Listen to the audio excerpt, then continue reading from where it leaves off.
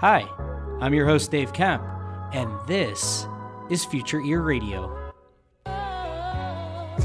Each episode, we're breaking down one new thing, one cool new finding that's happening in the world of hearables, the world of voice technology. How are these worlds starting to intersect? How are these worlds starting to collide? What cool things are going to come from this intersection of technology? Without further ado, let's get on with the show. All right. So we are joined here today by two great guests, Shari Eberts and Matt Hay. Um, Shari, why don't you tell us a little bit about who you are and what you do?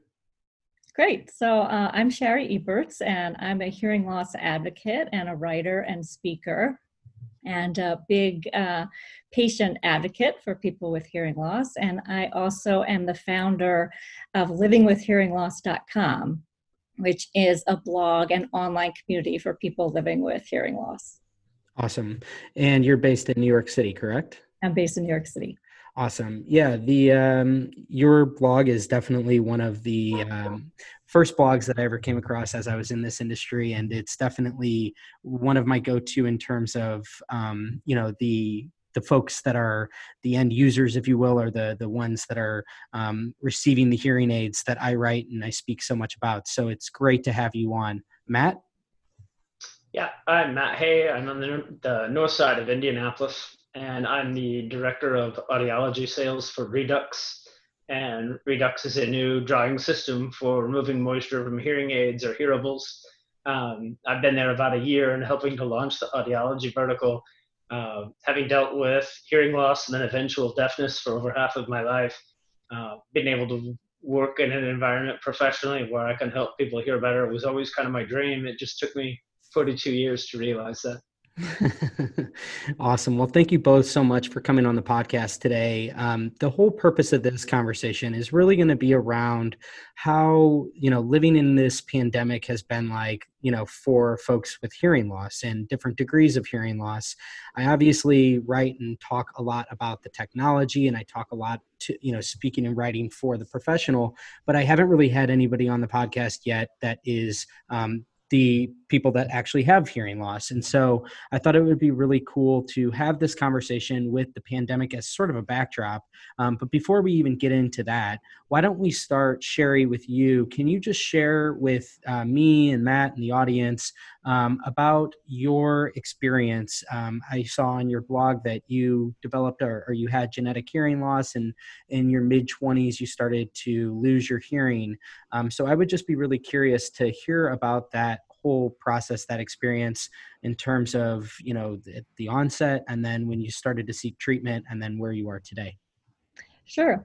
So I first noticed my hearing loss in my mid 20s. I was in graduate school, and pretty quickly into the first semester, I started realizing I was missing things in class. Um, you know, whether it was a comment that was made under one's breath or a whole class would start laughing and i would be kind of looking around the room trying to figure out what was so funny and um, it was not a surprise to me because i knew that my father had hearing loss um, and his mother had had it as well so i was hoping that it would skip my generation uh, but no such luck and so I went to get that first hearing test, and it was mild hearing loss. I was told, you know, just ignore it. There's nothing to do about it and it was the perfect excuse for me to really ignore it and uh, live in denial for many many years about my hearing loss um, my father was very stigmatized by his hearing loss and he had passed that down to me so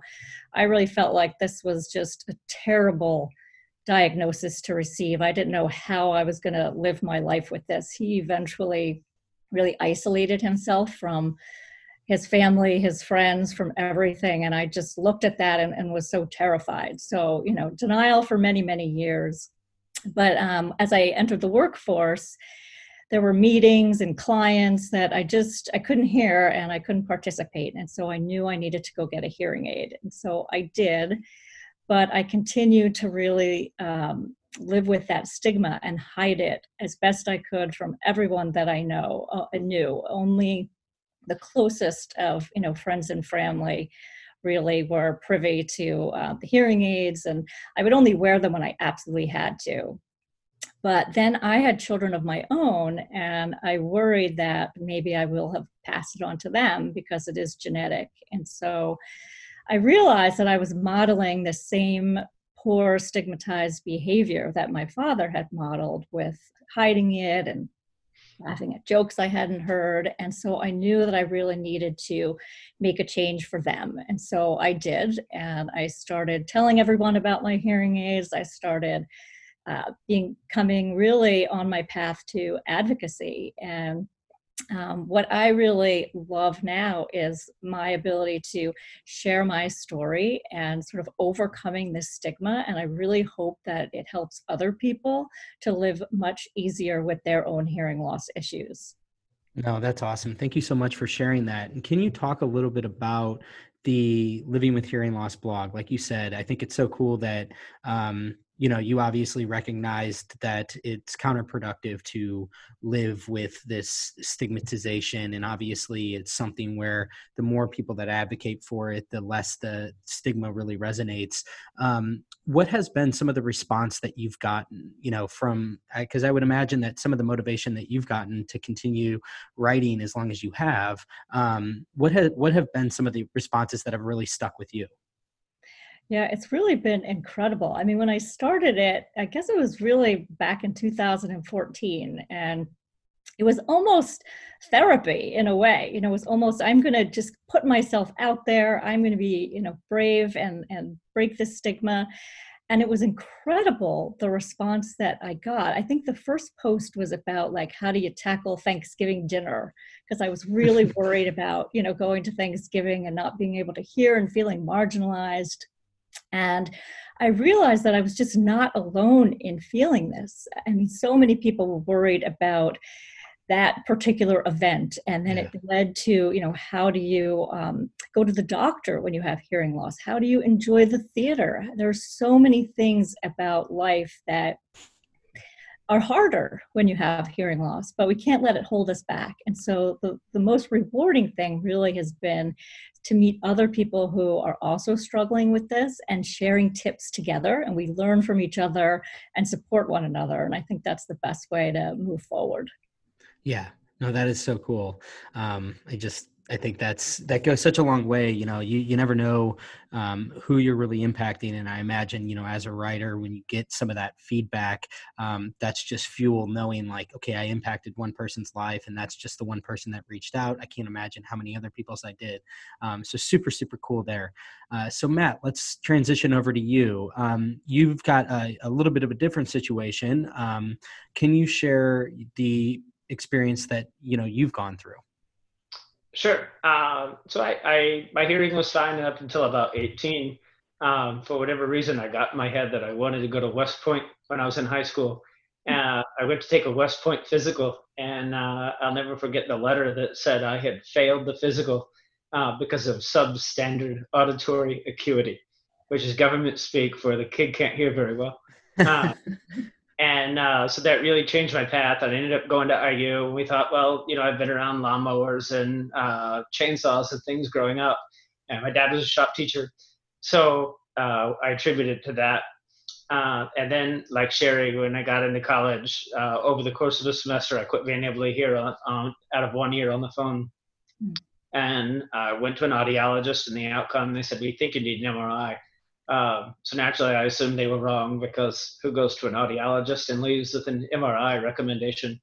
Um, I was very quickly and accurately diagnosed with neurofibromatosis 2, and the acronym for that is NF2, which is uh, if you have benign tumors growing on your hearing nerves on both sides. So acoustic neuromas are relatively common, uh, and one-sided, one-sided acoustic neuroma is uh, certainly a challenge um, two is, is a little bit different. Uh, and so as those tumors quickly grew from about age 19 or 20 to 25, um, I ended up losing all of my hearing and, and in both sides and underwent um, a number of brain surgeries and spine surgeries because the tumors on my nerves also gr- uh, had growing on my spine, which is a classic uh, symptom of NF2. And uh, you know, Shari mentioned hoping it would skip a generation. I thought, well, you know, this, these these things could happen, but they're not going to happen to me. mm-hmm. and it was kind of checking every box, everything that uh, NF2 could could impact impacted me. Um, so it was very difficult at 25. You know, you think you're going to be starting your life, and I moved to Chicago, and uh, the world's your oyster. Right? You you've got a I've got a paycheck for the first time. Um, instead, I'm in a wheelchair with glasses, and my hearing aids are getting bigger and bigger. Mm-hmm. Uh, so it was a it was certainly a reality check for me uh, in sort of the course of my life. I was very fortunate to have um, a company that uh, I felt like cared about me, and maybe more importantly, they had really great insurance. So I stuck with them for a long time. Uh, I was in sales. I moved into marketing research, where I could do most of my job online. I, I learned uh, a lot about Excel. Um, this was right around the time that you know when I first started, we didn't have the internet. So all of a sudden, you got the internet, and then you got instant message, um, and then texting. Each one of these technologies that came out made my life measurably better. Um, in the meantime, I started getting more involved with not-for-profits, doing fundraising uh, for NF2, raising money, raising awareness, uh, and that was really where my heart was the I loved what I was doing, but I'm not enough to give up the insurance uh, that I had. And man, when you've got multiple brain tumors, insurances becomes just increasingly more important. Uh, around age 40, I got to a point where I thought I I really uh, need to make a move. You know, at what point do you look back with with regret that you didn't follow your your heart? Um, so my wife ended up with a job with great insurance, and then so kind of took a leap uh, and ended up at Redux and having the opportunity to work with a local company that wanted to help people hear better uh, was an ideal scenario for me. It's a little bit surreal, and I haven't said this to Shari ever before, so I'm going to embarrass her a little bit. Um, but when I started looking around to make that leap and was searching for maybe other people that have um, gotten in full time into hearing care, but maybe not selling hearing aids, uh, but had taken a non-traditional route that allowed them to Shari their experience. Um, share your website and some of the stories that you shared were the things that made me think, well, look what she's doing. So I, have always uh, admired that uh, about you. And I think uh, I take a lot of pride in having, in making the most of the cards that I have been dealt. And I think up until, you know, my 40s, I thought that's, you know, it's kind of how I was raised. And I thought, that's what I'm supposed to be doing. And I look at Shari, people like Shari that uh, are out there saying, you know what, I don't really like these cards. Um, I, I'm going to push to get better cards. And it was almost like I didn't know I could do that. So when I see some of the stuff that Shari does advocating for the hearing loss industry, it's really been a motivator for me to continue to push myself out of my comfort zone and uh, push for better technology, whether it's communications or hearing aid capability, um, or learning about what um, what Dave, what you do. Uh, so it's a little bit surreal for me to be on this call today because you guys you guys both impacted that change maybe more than you know. Wow. Thank sure, you, you want to say That's so nice to hear. I appreciate that, and I think that you know the more of us that are empowered advocates, uh, the, the better it'll be for everyone with hearing loss. So that's great. Wow, that was totally unscripted and extremely cool. Thanks for sharing that, Matt. And I should say that um, Matt sent me prior to this call. He sent a NPR story that he was featured on that everybody should go check out. I'll put it in the show notes. It's on KQED, which is Indiana's NPR affiliate station. Um, it's unbelievable. I mean, it gave me it goosebumps uh, talking about really Matt's story and the what he you know his soundtrack to his life. And um, you know i it really resonated with me as somebody that you know he moved to chicago in his early 20s i moved to chicago in my early 20s and i look at him as somebody that you know that could have been me. And um, he's just a really normal guy that had this um, had this really weird disease you know hit him. And uh, i just think it's amazing that you've rolled with the punches the way that you have. And here you are today um, probably inspiring somebody that you don't know about. So I just think that's incredibly, incredibly cool. Um, so I think you know I, what would be kind of a cool way to transition here would be Shari. Let's start with you. Um, can you talk about you wear Lyrics right can you talk about that technology because i think that's a really interesting type of hearing aid uh, that probably isn't all that well known, um, you know, even in the industry. Yeah, that's true. It's a very unique product. It's an extended wear hearing aid. So I go to the audiologist and they put them in, and then, you know, anywhere from six to eight to however many weeks later, I go back and, and get another pair. And there's definitely some pluses and minuses. They work great for me. Um, they're analog, which I really like. I think the sound quality is very natural. Um, and I also like the fact that I can wear them 24 7 which is something that, you know, for me, I also have tinnitus.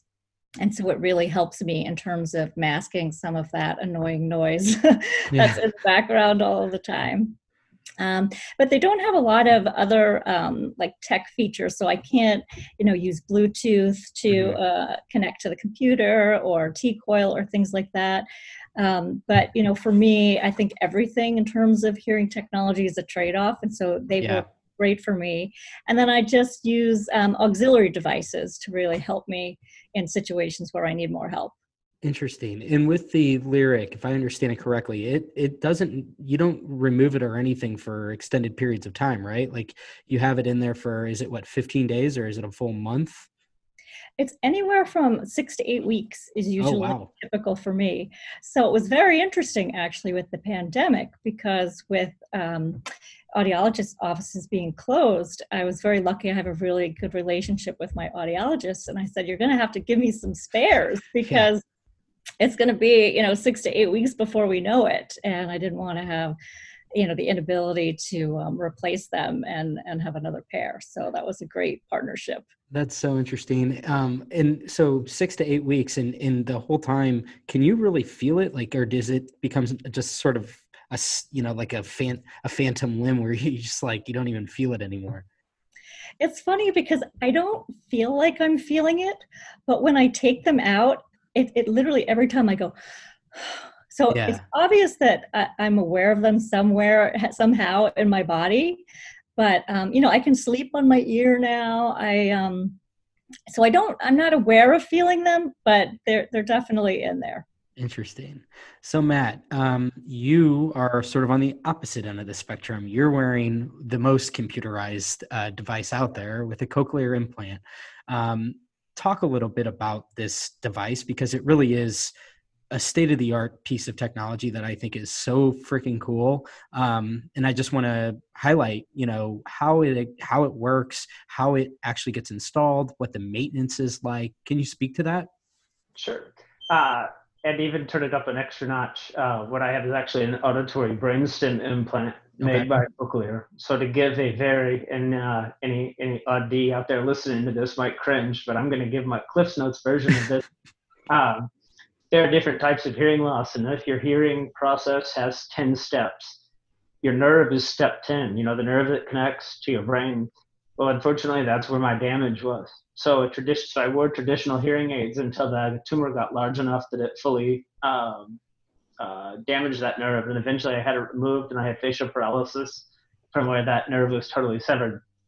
So my hearing aids could no longer work. A cochlear implant, let's say, might help your cochlea, which is step five.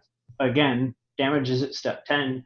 So my auditory brainstem implant looks just like a cochlear device um, but instead of uh, going through my cochlea, they, some very intelligent people said, this is the part of the brainstem that processes sound.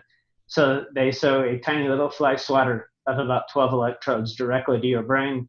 And then you wait eight weeks and they turn it on, you know, for swelling to go down and uh, for your, your brain to heal. It was very invasive uh, surgery because I had a tumor removed at the same time. It was about 10 hours long. And um, we thought, you know, if I live through surgery, that's that's a win. Uh, anything that, whether or not the implant works or not, is just uh, gravy. So it was a very long eight weeks waiting to have that turned on. Um, and I was very fortunate that all the electrodes worked. Um, that a, a very, like I said, very intelligent doctor at the House Ear Institute in LA was able to determine exactly what part of my brainstem processes sound, and uh, and they turned it on and the best way I could describe it is things were very, very robotic and muffled. Um, it was almost like um, I went from not being able to see to being able to see in just one shade of dark gray, and then maybe you kind of uh, can make out something, but you don't know what it is. That a dog barking sounded the same as a car horn honking. About every three or four months for the first few years, I went back and they would update it just like they do with a cochlear implant, and they would slowly adjust as your because you're asking your body to do something it's not designed to do. Um, as your brain start to say, okay, this is what's being expected of me, uh, and the diligence of practice, practice, practice. I started listening to uh, Beatles songs that I knew before, even though I couldn't understand them. Um, that was sort of my benchmark. And now, 15 years later, uh, with a combination of visual cues and speech understanding, I can probably pick up about 90% of what's being said uh, in a quiet environment. Uh, I went to a uh, minor league baseball game at the end of last summer, and I heard the ball hit the catcher's mitt. And it took three innings for me thinking, what is that sound? Because I had forgotten that sound had existed in the world. Uh, once I identified it, I got to a point where I hoped the batter wouldn't swing because I just thought I forgot it existed. Uh, and it's, it's a beautiful noise. And I just think that's it's phenomenal to me. If somebody that couldn't hear oh, to now from the end of the first baseline and being able to hear the leather on leather of a baseball hitting a mitt. So uh, amazing technology and a lot of practice uh, has really helped me to come to rely on my implant. And I, it's got a lithium ion rechargeable battery. And I'm, I'm talking to you now with the help of some voice recognition software. But the second I take this off, I'm totally deaf in both ears. So right now I can't hear the sound of my cord. As soon as I connect that magnet, my world, you know, I've got 11 of 12 colors um, show back up in my head. Wow. That is absolutely amazing technology to be perfectly frank. Um, what about music? How because I know like reading and listening to this Q uh, this NPR story, you know, that you did, obviously music's been very in you know important to you your whole life. What's it like now? I mean, is this something that you feel like you've been able to sort of capture back to some degree? Uh, for sure. I mean, uh, the fortunately, I was not. I was I was a terrible piano player. Uh, I was I was not somebody in my teens that like turned to music uh, as a way mm-hmm. to deal with things. Uh, so it wasn't like you know I lost this big part of my life, but I enjoyed music as much as anybody else. And uh, like a lot of us, I got to college, was introduced to the Beatles, and so the music that I was really into when I lost my hearing was the, was also the music I wanted to turn to. Um, if I could hear music again, I wanted mm-hmm. to associate it with happy times in my life. And um, plus, the Beatles have uh, some some of the earlier Beatles, maybe more than the later Beatles, very clean, uh, easy to hear music. And it's taken a decade of practice doing that, maybe a little longer. Uh, but I'm now at a point where I have about 80 songs on a playlist and in my car i can almost identify all of them when they come on without knowing what it's what's coming and then i can identify one or two notes uh, the rest of it all comes flooding back mm. uh, your brain says oh you know I, am listening to let it be and yeah. it might it might be the piano chords you know the ba ba ba and and that's what uh, is is like the um, rosetta stone for my brain and says those chords that's let it be now you know what's going to happen next. So, probably to my kids' dismay, uh, I haven't played anything in my car in their life uh, written after 2000. it's kind of the same thing over and over again. Uh, the uh, there's been a popular, you know, trend in uh, Rocket Man came out, Bohemian Rhapsody came out, mm-hmm.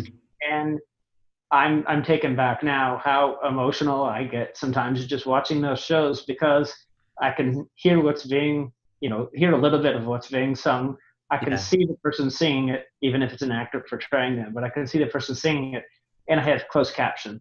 So the combination of those three things allows me to hear. Um, you know, I, I heard um, "Don't Let the Sun Go Down on Me" two days ago when I watched Rocket Man for the first time ever, and uh, my whole family's tired of me hearing the same three things because it was just I told my wife like there's this there's all these treasures of music out there. Why aren't people just listening to this all the time? Um, so I, I certainly believe it's given me an appreciation for music, which is crazy to think that it took losing my hearing to appreciate music, but that's really where I am now. And so mm-hmm. uh, I have a new appreciation for it. It's, it's, still a lot of music from the 70s, 80s, and 90s. Right. Um, that that was a pretty great pretty great time for music, so I'm not complaining. Right. No, that's uh, that's so interesting. So you mentioned captioning there, right? So okay, now let's start to get into a little bit about where we are today.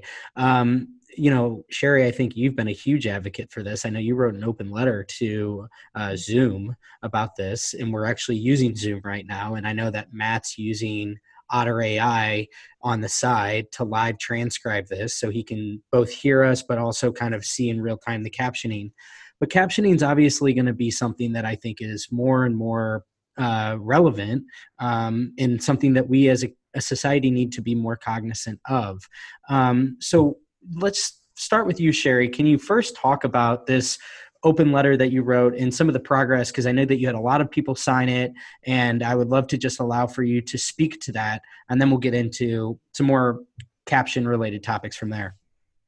Yeah, so I think captioning is such an important issue, especially right now. It's really been brought on by the pandemic because so much of work life and social life has become on these platforms like mm-hmm. Zoom, mm-hmm. like Google Meet. And I know myself, I was struggling, and uh, my hearing loss peers were struggling. And so I just felt like it was important to let these companies know that this technology was needed and that really for people in, for uh, with hearing loss it should be free i mean it's really an accessibility issue mm-hmm. i like to say you know captions are our ramps they allow us to navigate this type of situation where ramps allow people who use wheelchairs to navigate a lot of situations so i wrote this open letter uh, it started out to google and zoom um, and then it turned into a petition. We now have 35,000 signatures. Wow. My husband keeps telling me is like two Madison Square Gardens or something. Yeah. So that's a lot of people. So I am really proud of how the hearing loss community has come together to really fight and, and advocate for what it is that they need. And so the good news is I think it's having, you know, some impact.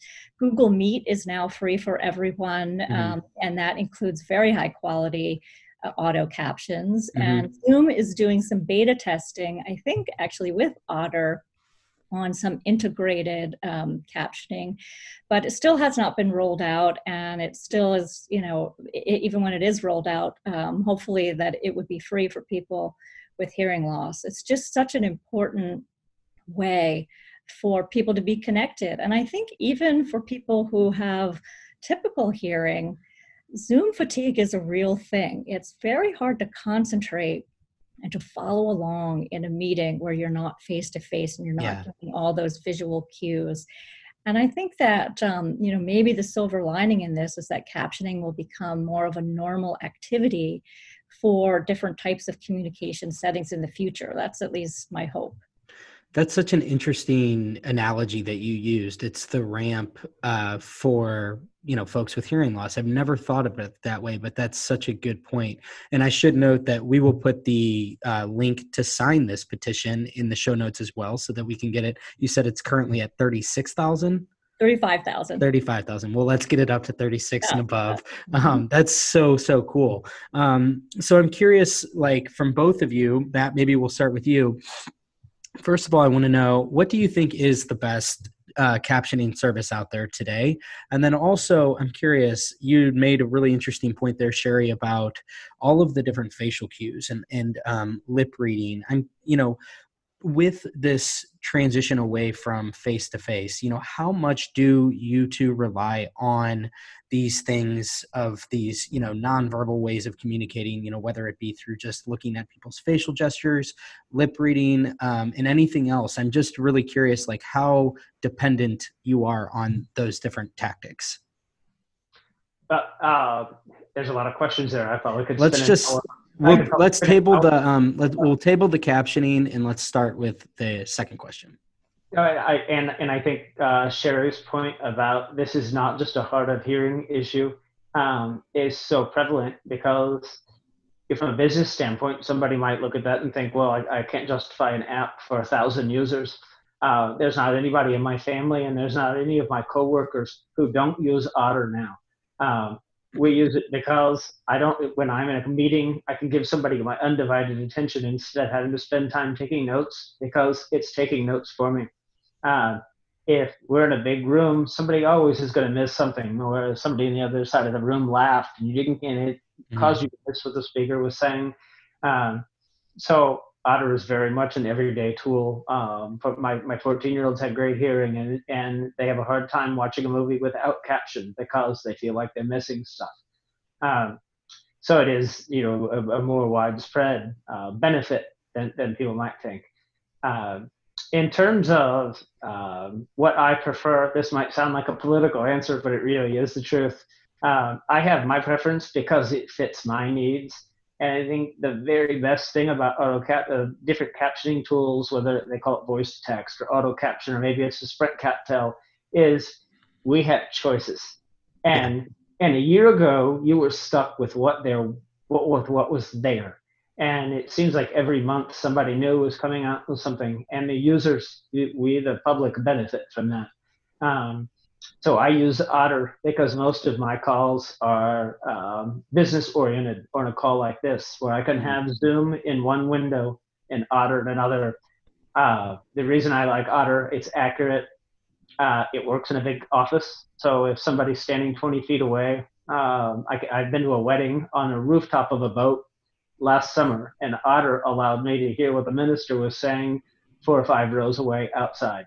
So um, I, it, it, meets my needs. Uh, I was just reviewing it launch this week.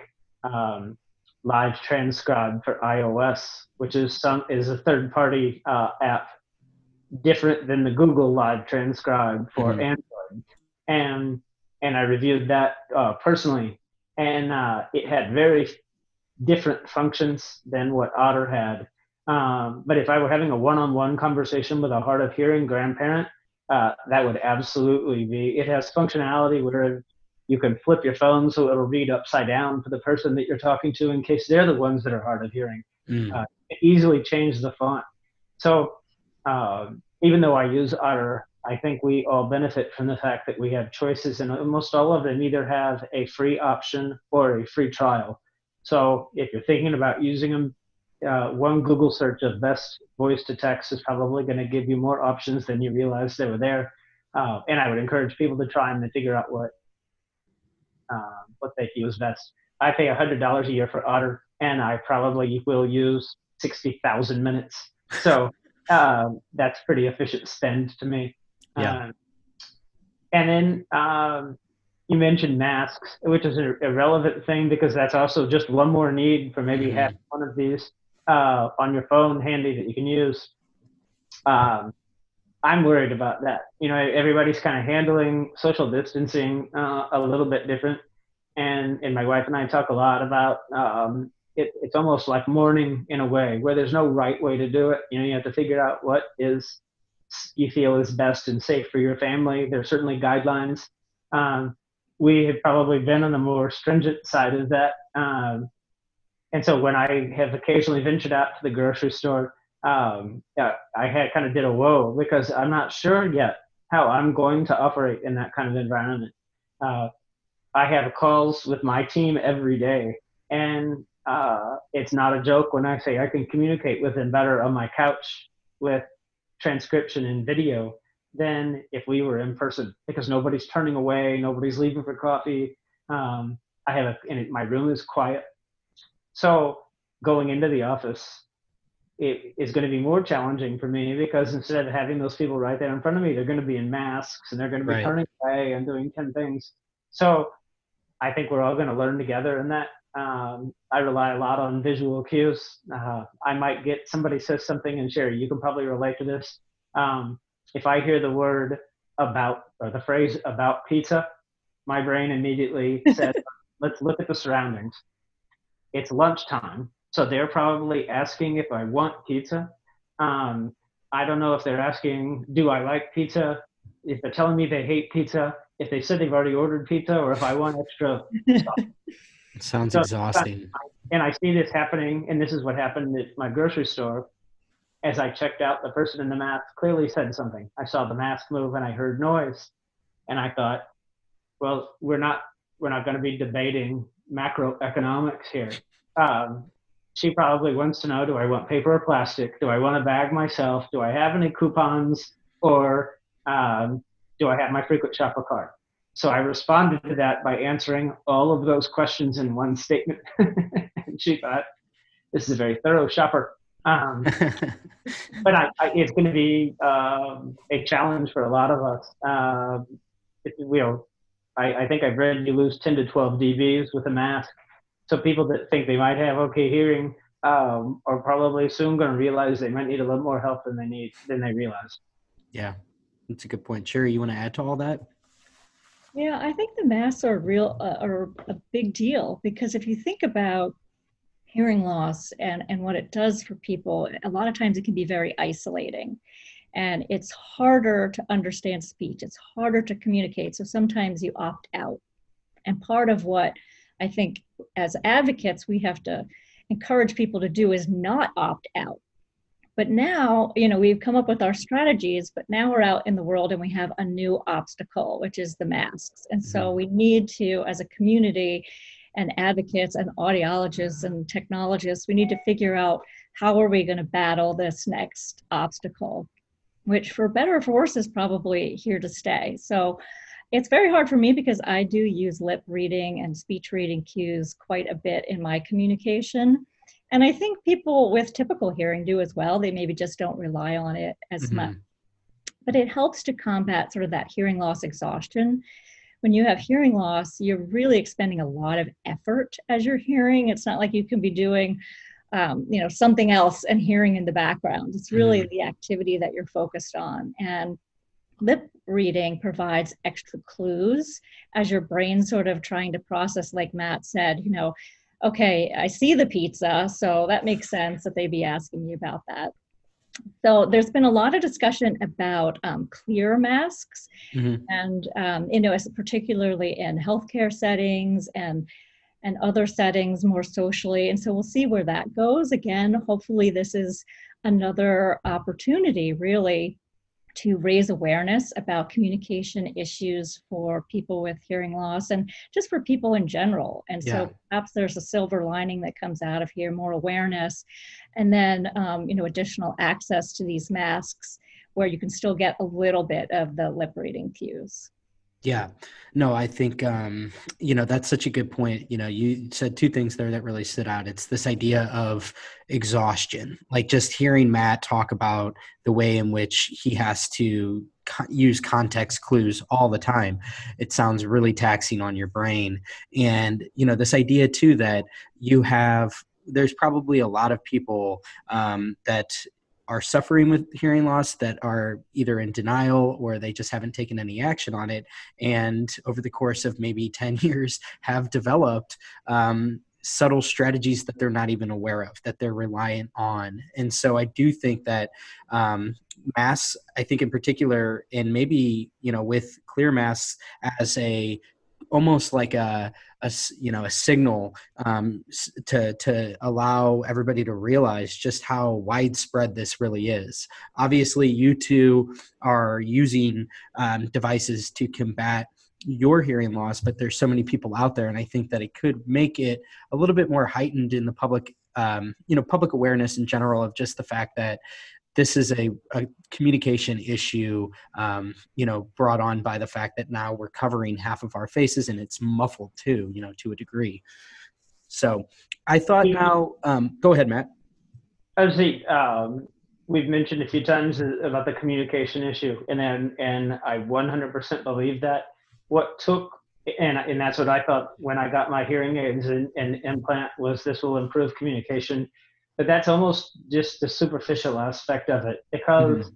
while that is absolutely necessary where it really helped me was uh, relationships and and so uh, and you think about it any communication is really a relationship you know sometimes it's just a video screen where um, you know shari you and i have a certain relationship now because of the level of communication we've had in 45 minutes mm-hmm. um, but with other people, it can become a lot deeper. And when um, when you lose the ability to communicate, it absolutely has impacted my relationships. Um, fortunately, as I have improved my ability to communicate, improved it, it has also improved those relationships. So it's not just I want to hear what you're saying. I, I want to know who you are, what's going on with your life, and and those are the things that really have make my life. You know, when I look back and the things that I want to remember in life, it's it's those relationships. Mm-hmm. Uh, you know, I'm sure you guys have heard the phrase "fake it till you make it," and I think a lot of people with hearing loss. You know, I think of my dad, and he spent 20 years uh, with the whole "fake it till you make it." Uh, so kind of my news for those people is you're not making it. Like you, you think you are because you don't know any better and you're trying hard. Um, but man, uh, my audiologists, my hearing care professionals have all been so great. I mean, over 20 years, I've never had a, a hearing care professional that didn't walk away and think, I, I want to work with that person or be their friend. The only time I've ever left an audiologist is because we moved. Um, and I, so I would encourage anybody who is thinks they're, you know, so maybe it's their spouse or their children who say, remind them, you know, you think you're making it, you're not. Uh, just go see somebody. Mm-hmm. And it, shouldn't have this, isn't? You're not going to the dentist, you know, there's nothing painful about this at all. It's very quick, it's very easy. These are incredibly caring professionals. And you can walk out same day with a pair of hearing aids that are probably going to make you hear better.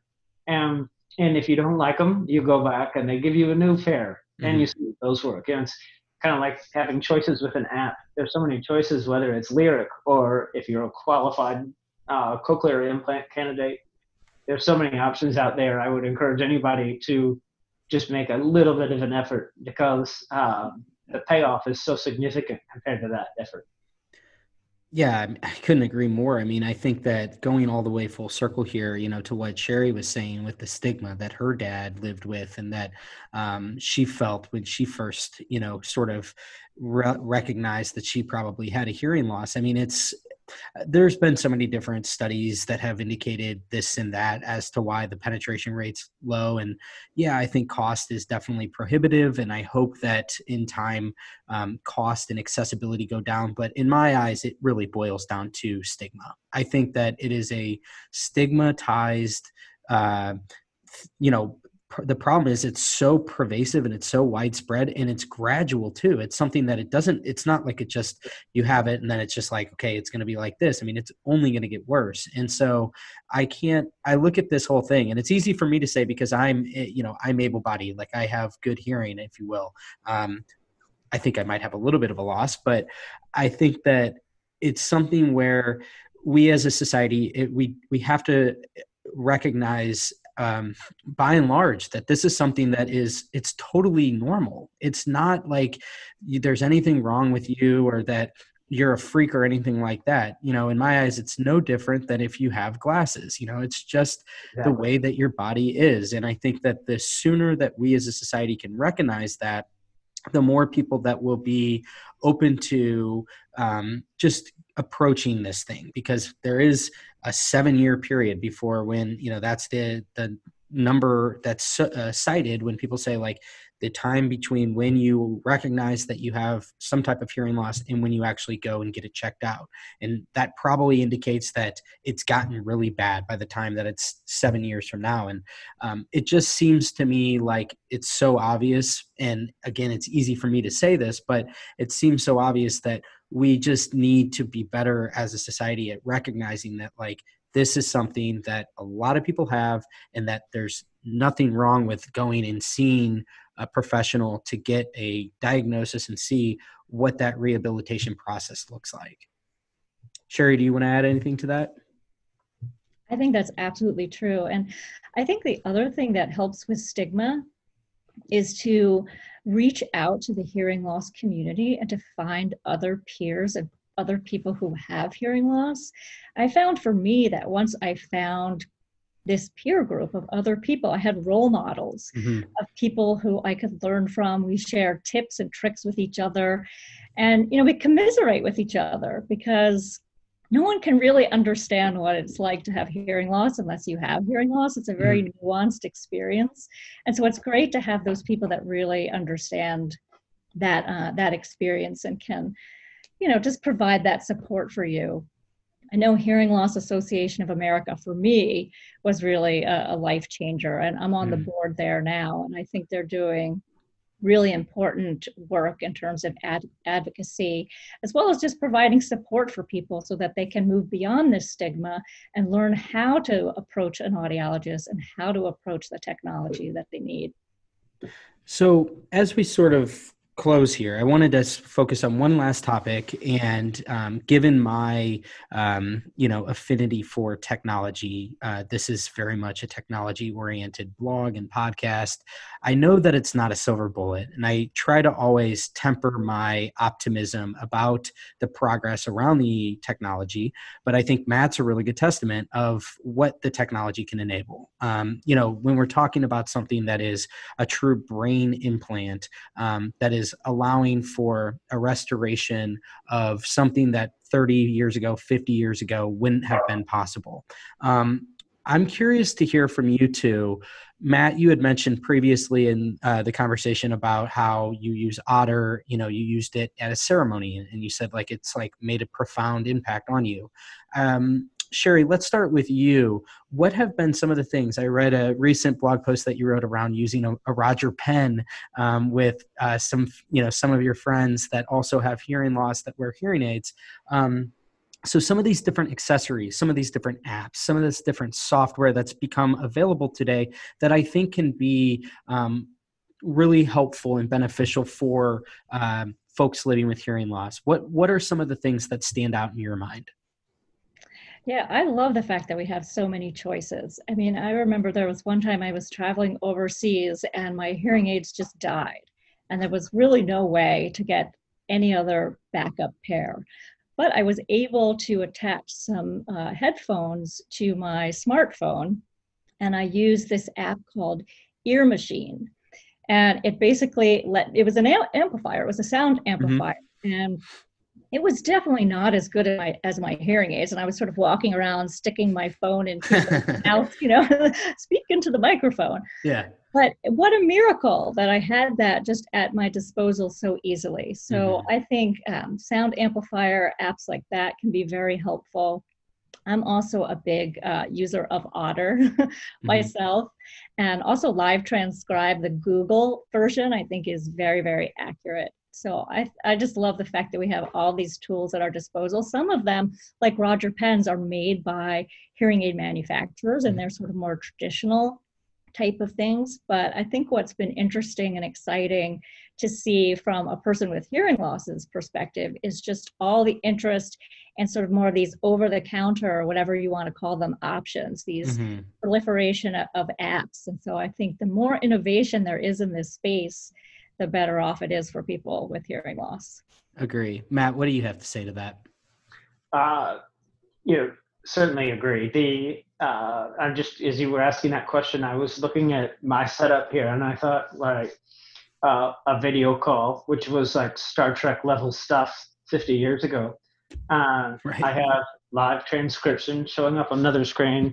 I have a, a Bluetooth enabled uh, speaker that is making it more clear than just my phone or computer sound might be. Um, you know, so I'm looking around at all these things, and and you know, uh, technologies well, here, a phrase I've used in the past, which sounds hokey, but there's never been a better time to be deaf. I mean, when yeah. you think about it, probably true though. The things that I do now didn't exist. I didn't have the capability to do that. Um, you know, I've, I've been in sales for 20 years really without missing a beat because as, as my hearing has declined, uh, the, the technologies has increased. So, you know, so I mentioned that I use Otter. Um, for 20 years, Sprint CapTel kept me connected. Uh, and then I remember when my big Sprint CapTel phone went, you know, they had an online portal.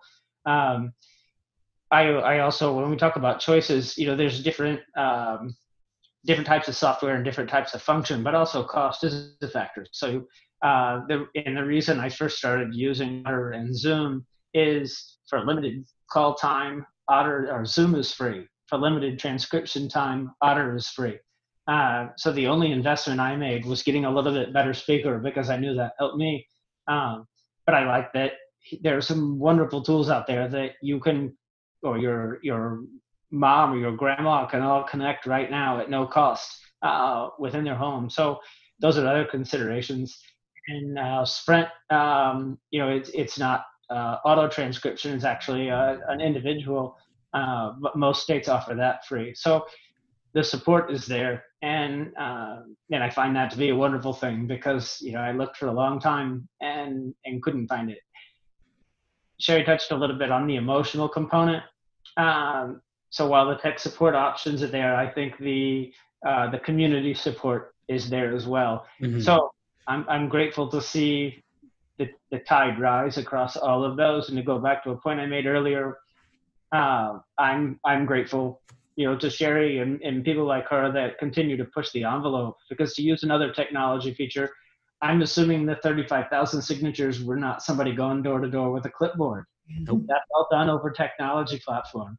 Um, I had an issue with Otter when I tried to get them connected on Otter Premium through Zoom Premium. I, I sent them a note on Twitter, and within an hour, I got a call back, and I was talking to somebody within the marketing department at Otter. So uh, we have these tech tools, but we also have a, a way to communicate, to continue pushing the envelope. Uh, and I think in my evolution as an individual, uh, I've gone from sort of worrying about my hearing loss to accepting my hearing loss to now pushing the envelope on what I can do with that experience. And Shari's Shari was half a decade ahead of me on that. Uh, cool. But that's going to make it better for all of us. So I would encourage people if you have an issue with it, um, there's a lot of power in polite, constructive criticism.